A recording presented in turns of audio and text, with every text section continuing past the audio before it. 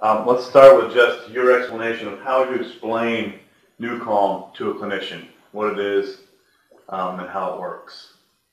Well, essentially, NuCalm is a clinical tool for managing many issues out of the brain, particularly the issue of anxiety in all its manifesta- manifestations, from general anxiety disorder all the way up to post-traumatic stress disorder which is the low end of the anxiety spectrum on one end and the high end of the anxiety spectrum on the other end.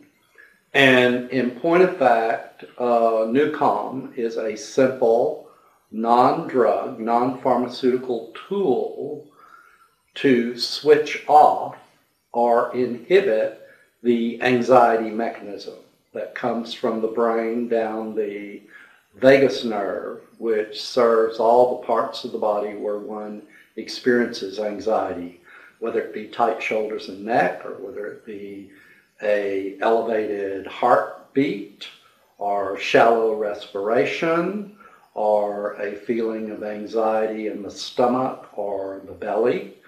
So NuCalm is actually, you can think of it much like a furnace that is not working, where you set the thermostat at 76 degrees, it reaches 76 degrees, and the furnace does not shut off. Why does the furnace not shut off? Because the communication line from the thermostat back to the furnace is not operating. In a technical sense, that is called a negative feedback loop.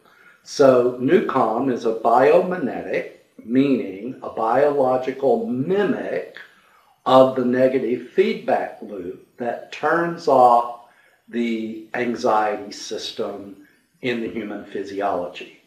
So the anxiety system starts in the hypothalamus, goes to a part of the brain called the anterior pituitary, and then a signal goes to the adrenal glands that live on top of your kidneys and the adrenal glands release chemicals called glucocorticoids and epinephrine or norepinephrine back into the bloodstream and the brain and create the anxious effect.